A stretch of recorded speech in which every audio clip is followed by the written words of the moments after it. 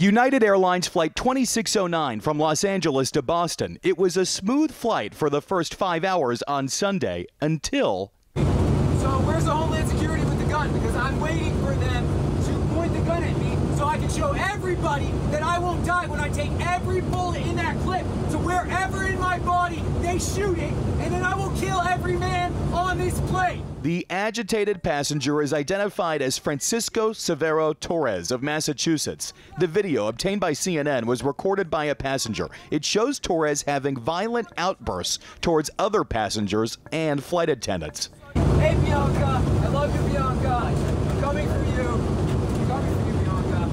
Four minutes, nervous passengers sat down and listened. Nobody. Where's Homeland Security? There should be Homeland Security. Where are they diverting us? Because wherever it is, there's going to be a bloodbath everywhere.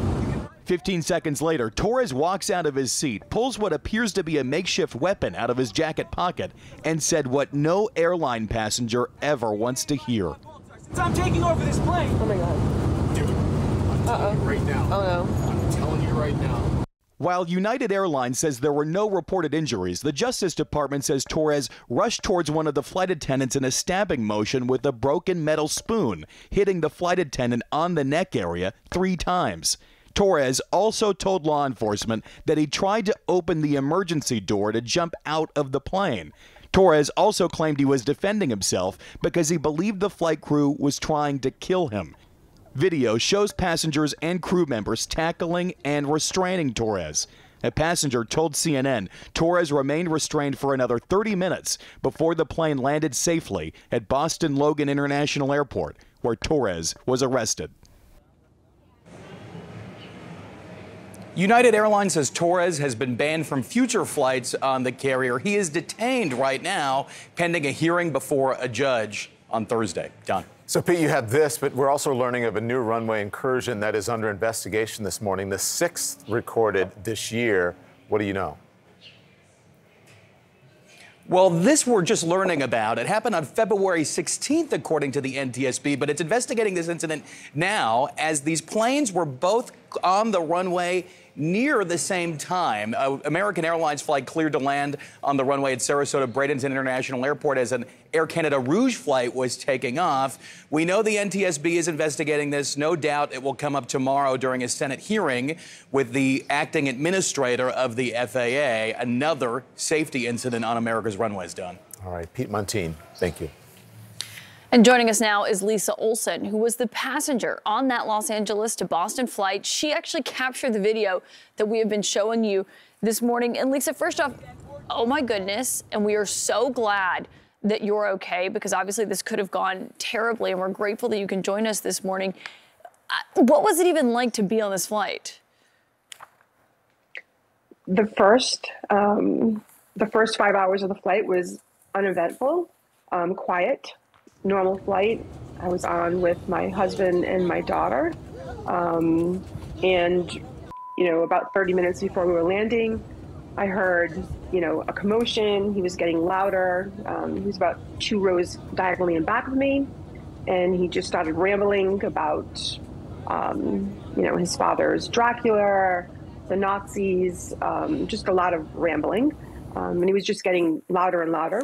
A couple of passengers tried to talk to him to calm him down. It was only making him more agitated.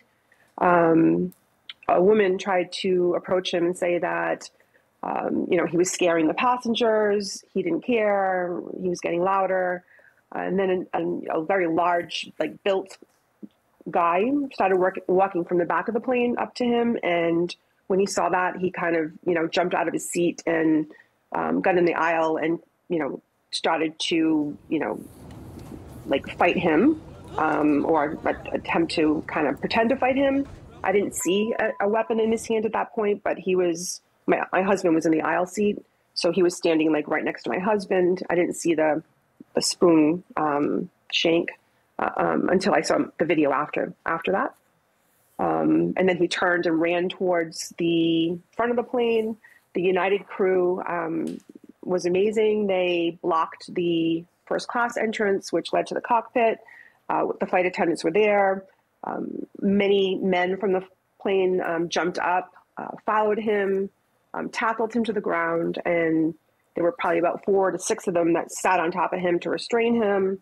Uh, the flight crew, you know, immediately had zip ties to zip tie his feet and his arms. Um, he was still screaming, um, and he somehow escaped from the zip ties. Um, they put new ones on him, and as the men were getting tired from restraining him, they kind of swapped out, and you know, the ones that were tired would come back to sit down. People were thanking them um, and very appreciative that you know they jumped into action so quickly. Yeah, he actually escaped from the zip ties at one point.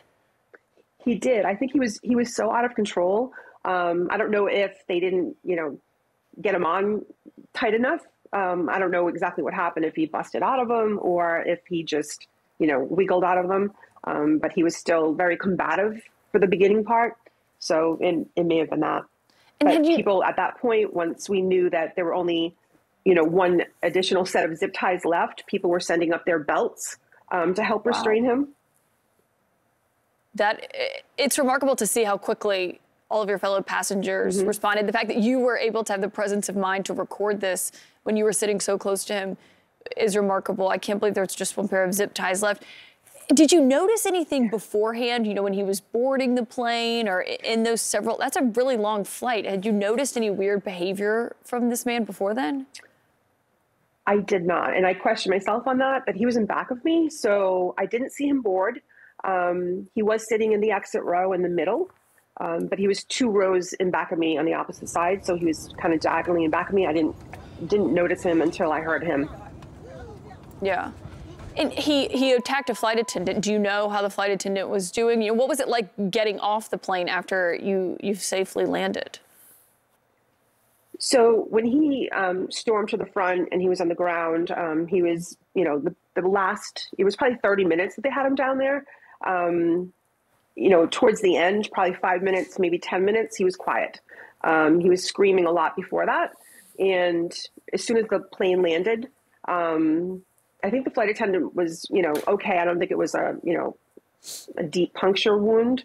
Um, but he was right in front of the door when they had him on the ground. Uh, the police, the Massachusetts State Police, came on board, um, cuffed him, took him off the plane. You know, the EMTs came in and attended to the flight attendant, um, and then they, they came back and questioned, um, you know, some of the passengers. Lisa, this is a pretty jarring experience. I mean, we've been talking so much about close calls with flight takeoffs and turbulence and all of these things that have been happening in the skies. You know, this incident happening now as well.